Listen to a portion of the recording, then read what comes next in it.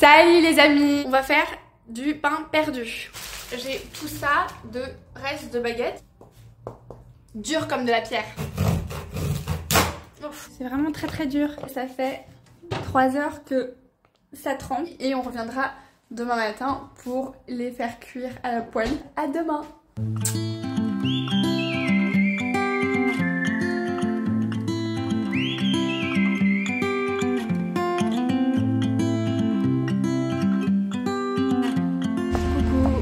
le lendemain et aujourd'hui euh, je vous emmène à une des meilleures boulangeries de Nice pour ma part. Une boulangerie qui pour moi fait les meilleurs pains au chocolat et les meilleurs croissants de Nice euh, sans être hors de prix.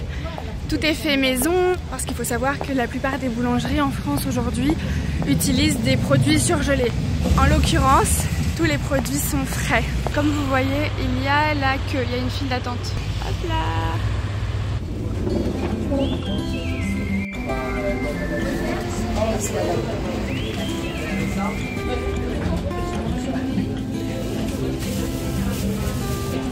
euh, un pain au chocolat, un croissant.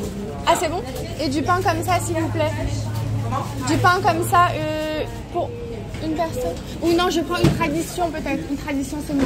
Oui, merci. Comme j'ai très très faim et que c'est difficile de s'en empêcher, je vais grignoter un peu de ma baguette euh, sur le chemin. Euh, une fois n'est pas coutume, une fois n'est pas coutume, c'est-à-dire que c'est pas mon habitude. Euh, en semaine je fais pas ça, mais comme c'est week-end, on peut manger des viennoiseries. Donc j'ai pris un pain au chocolat.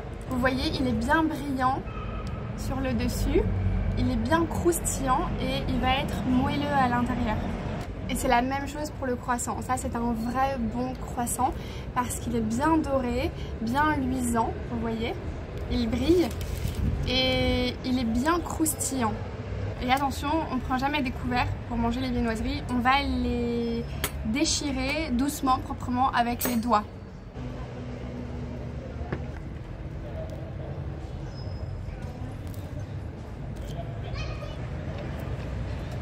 Il a vraiment le bon goût du beurre. Normalement, vous n'avez pas le droit de faire ça. Ça, c'est pas l'étiquette. C'est pas la bonne étiquette. Mais les Français le font quand même. Bon, c'est bien beau de manger des croissants et des pains au chocolat, mais il faut se mettre au travail. Dans deux heures, dans deux heures, j'ai un cours d'espagnol, donc il faut que je le prépare. J'ai un cours sur las tradiciones españolas. Donc je vais regarder le vocabulaire, je vais regarder les exercices, je vais un petit peu préparer parce que quand on prépare un cours tout de suite, euh, quand on est dedans, c'est beaucoup plus simple, c'est beaucoup plus fluide et on a l'impression d'avoir pris de l'avance par rapport aux autres. On, on est vraiment à l'aise avec le sujet. Ça nous permet d'être à l'aise avec le sujet. Vous savez, quand on apprend une langue, au début, on est super motivé, on fait plein de progrès très rapidement, on apprend vite et ça nous motive à faire encore plus d'efforts. Au début, c'est toujours l'euphorie. Et puis, au bout d'un certain temps, on atteint un certain plateau, un seuil. On a l'impression qu'on ne progresse plus et on se demande même si ça vaut la peine de continuer à apprendre. En bref, la motivation s'en va et on n'a même plus envie de faire des efforts. La solution? Trouver quelqu'un qui nous prend par la main, qui nous guide et qui nous dit exactement ce qu'on doit faire, où on doit aller, semaine après semaine. Avoir des rendez-vous réguliers pour que ça devienne une discipline et qu'on n'ait plus besoin de la motivation. Pendant ces rendez-vous, communiquer avec des gens de niveau natif qui nous mettent à l'aise et qui nous aident à progresser. Plus on a d'interactions positives dans la langue qu'on apprend, plus on se sent à l'aise, plus on a confiance en nous et mieux on parle. Et c'est pour gagner en confiance en espagnol que je prends des cours avec Lingoda depuis presque un an. Je peux avoir cours toutes les semaines à la même heure avec le même professeur ou choisir une option plus flexible et prendre des cours quand je veux. Ou je peux aussi opter pour le sprint, qui est un challenge de deux mois très intense. Les sujets sont toujours intéressants, on pratique des situations de la vie réelle, on parle des différences culturelles et des traditions, on apprend des expressions idiomatiques et les profs nous donnent toujours du feedback. Et en el 14 de julio tenemos la fiesta nacional y tenemos muchos um, fuegos artificiales. J'ai hâte de faire mon cours sur les traditions espagnoles Euh, si vous aussi vous voulez pratiquer votre français de manière très régulière, vous pouvez rejoindre Lingoda, vous avez le lien en description et vous pouvez utiliser le code BESTFRENCH20 pour avoir 20 euros de réduction ou équivalent dans votre devise. A few moments later. J'ai laissé le pain tremper toute la nuit dans le mélange. Euh, j'espère qu'il est assez mou, on va voir. On va le mettre dans la poêle chaude avec du beurre et c'est comme ça qu'on va faire du pain perdu. Vu comme ça, c'est pas très ragoûtant, mais je vous assure qu'une fois que c'est cuit, c'est bon. Toujours prendre du beurre salé. Et là, c'est du beurre avec des cristaux de avec des cristaux de sel même dedans. Incroyablement bon. je vous dis, ça fait les muscles de faire la cuisine parce que vous devez porter des choses lourdes tout le temps, remuer, agiter les bras. C'est du sport. On va ajouter un peu de sucre roux dessus, comme ça. Hop là C'est pas très beau, hein C'est pas très appétissant, c'est pas très beau, soyons honnêtes. C'est pas un dessert de restaurant gastronomique. On goûte quand même. C'est super bon. C'est moelleux. Et on sent encore le goût du pain, vous voyez, le bon goût du pain en arrière-goût. Comme c'était des bonnes baguettes, on sent le bon goût du pain. J'ai fini mon travail et maintenant je dois aller acheter des cartes postales pour mes abonnés, euh, les abonnés de ma newsletter. Donc, je vais aller acheter des cartes postales pour eux, des cartes postales de Nice. Et euh, je pense que vous allez m'aider à les choisir. On va aller dans le vieux Nice pour ça. On est au début du mois d'octobre et les gens se baignent encore. Ça, c'est super. Peut-être que moi aussi, un peu plus tard, je vais piquer une tête.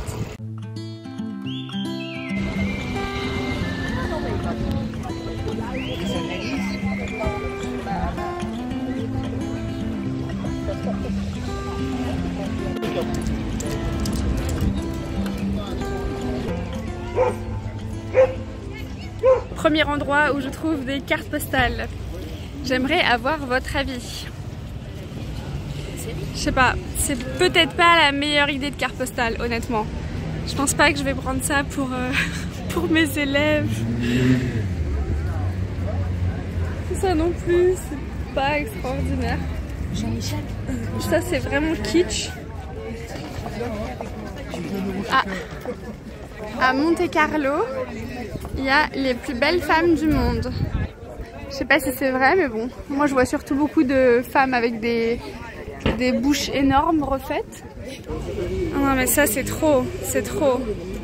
Vous avez compris là le, jeu de mots. C'est au poil, ça veut dire euh, c'est parfait.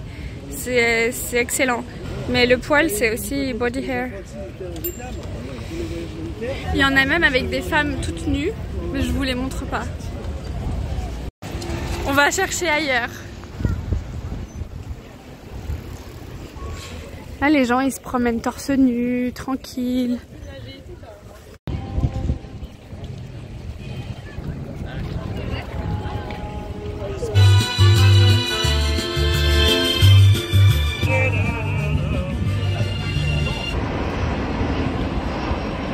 J'adore cette architecture. Vraiment, je la trouve exceptionnelle. Je sais pas exactement quel style c'est, quelle époque c'est. Est-ce que quelqu'un s'y connaît un peu? Parce que moi, je m'y connais pas du tout.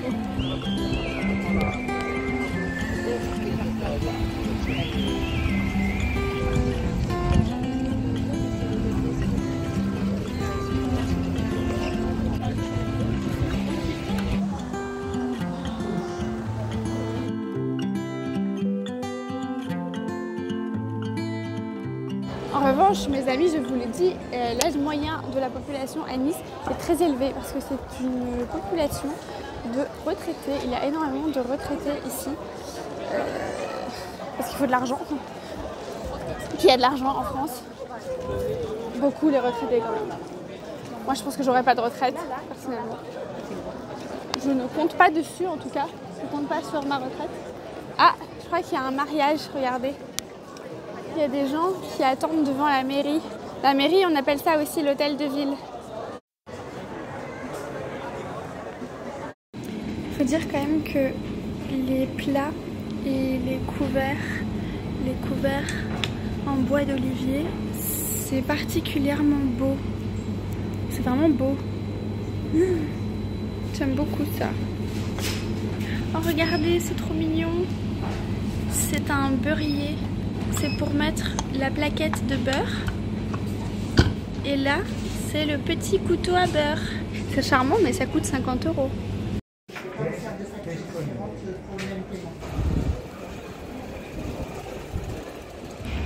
Là, on vend des armes. Je me demande si en France, on a le droit d'acheter des armes sans permis. Et évidemment, je pense qu'on n'a pas le droit d'acheter une arme sans permis.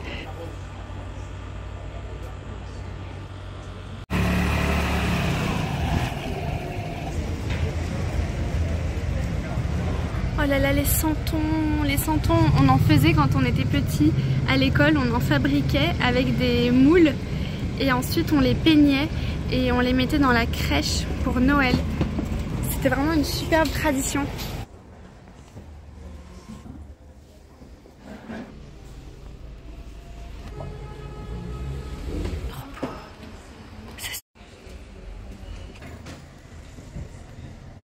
Fait, je pense que je dois acheter cette affiche là. Elle irait bien dans le bureau avec les différents fromages. Ah oui ça aussi, oui, le... le... On est, en, on est en train de refaire la vitrine. Ah là, oui. Et avec des puzzles justement, c'est tout joli. Ah, c'est bien. Vous savez, vous avez vraiment trop d'affiches, euh, toutes plus belles les unes que les autres. On a envie de tout, Ouais, tout prendre. Elles viennent d'où, en fait? C'est la même collection que votre puzzle en fait. Ah, d'accord. C'est anglais? Cavallini, euh, Cavallini Co. Faites voir. hein. Alors, ça me fait 43. Oui, par carte, s'il vous plaît. Avec le ticket de carte. Non, merci. Je suis tellement contente, j'ai trouvé une affiche vraiment belle. Euh, je vais vous la montrer quand on va rentrer euh, au bureau. J'ai pris aussi un puzzle avec des chats pour mon neveu et ma nièce. Qu'est-ce que vous pensez de ces cartes postales? Elles sont mieux Difficile de choisir.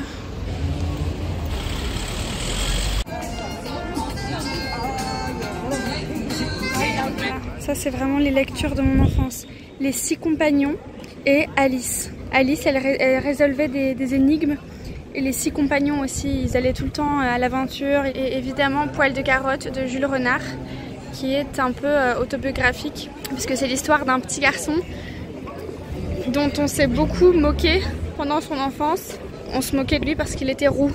Là, vous pouvez venir acheter des livres d'occasion, des CD, des vinyles, de belles affiches. J'adore ce genre d'endroit, mais le problème c'est que je veux tout acheter. Et donc c'est, pas une bonne idée que je vienne ici, je pense. Voilà. Oula Là il y a des femmes toutes nues.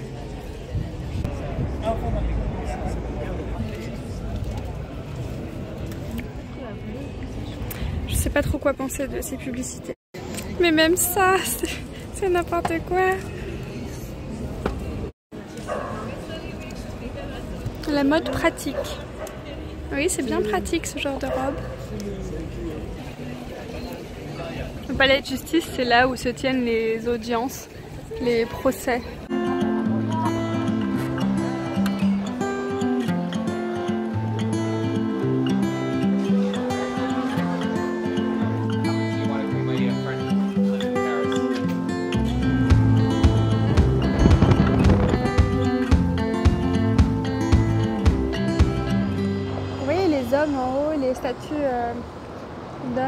Assis en haut, en hauteur.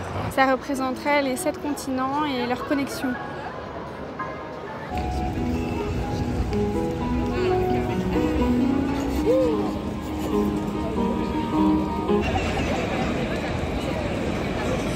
Si vous venez à Nice, ne venez pas sur l'avenue Jean Médecin. Vraiment, ça va vous dégoûter de Nice.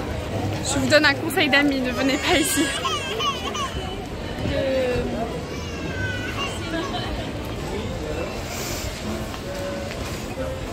lourd. C'est même très lourd.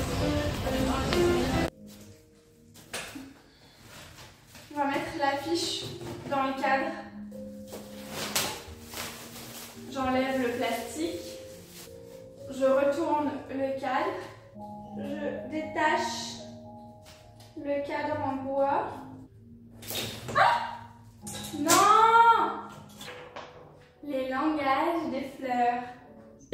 Voilà mon affiche. Mes fleurs préférées sont les pivoines. Donc c'est I wish to make amends. Et vous Quelles sont vos fleurs préférées? J'espère que ça vous a plu de passer ces un jour et demi, deux jours avec moi. Maintenant, je vais me poser sur le balcon pour lire un peu. En ce moment, je lis Jane Eyre, Jane Eyre, je sais pas comment on dit. Si vous savez comment on dit, dites-moi. C'est vraiment pas mal, ça nous plonge dans l'Angleterre du 19e siècle. Et je vais aussi écrire un petit peu dans mon carnet, ce carnet que j'ai acheté à Édimbourg. C'est une œuvre de Gustave Klimt sur la couverture. Et en fait, quand j'étais à Édimbourg, je voulais vraiment écrire pour éviter que mes souvenirs ne disparaissent. Euh, J'avais pas envie de, faire un voyage et ensuite de tout oublier. Je voulais vraiment qu'il y ait une trace écrite. Donc j'ai commencé à écrire, mais j'ai pas eu le temps de, tout raconter. Et donc je vais essayer de me souvenir du mieux que je peux de mes journées là-bas et de les écrire pour en avoir une belle trace. Abonnez-vous si vous voulez voir d'autres vidéos. Je vous souhaite une bonne journée et je vous dis à bientôt.